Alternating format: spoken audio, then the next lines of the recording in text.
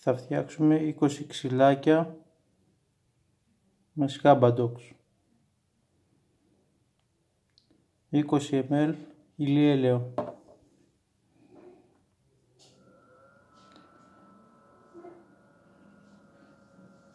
ένα κόμμα έξι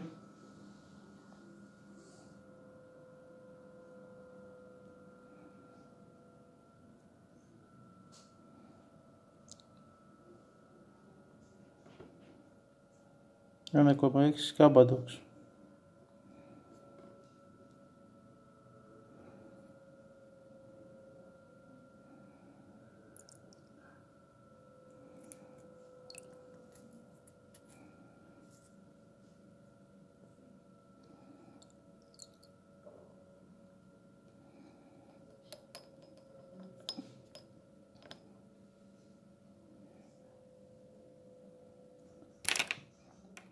και 0,8 είναι πνεύμα.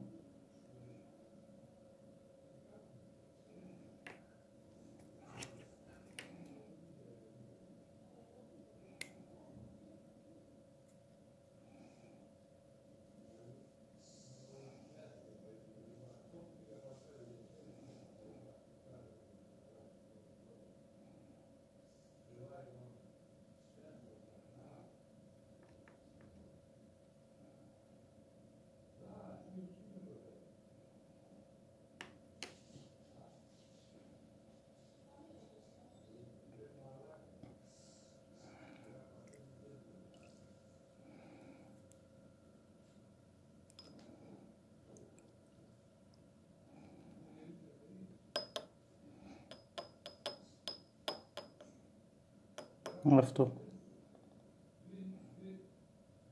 Αύριο θα βάλουμε στα ξυλάκια μας.